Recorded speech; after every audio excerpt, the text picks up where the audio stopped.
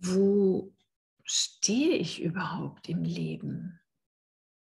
Und hm, wo will ich überhaupt hin?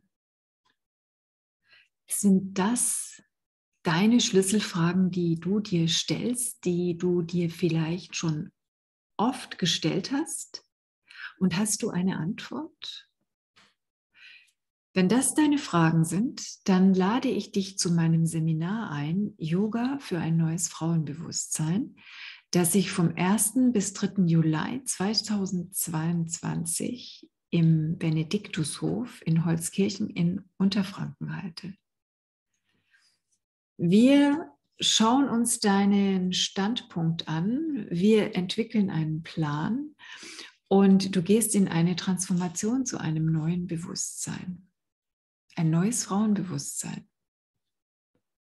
Ich freue mich auf dich, melde dich jetzt an. Das ist deine Chance und da bekommst du deine Antwort.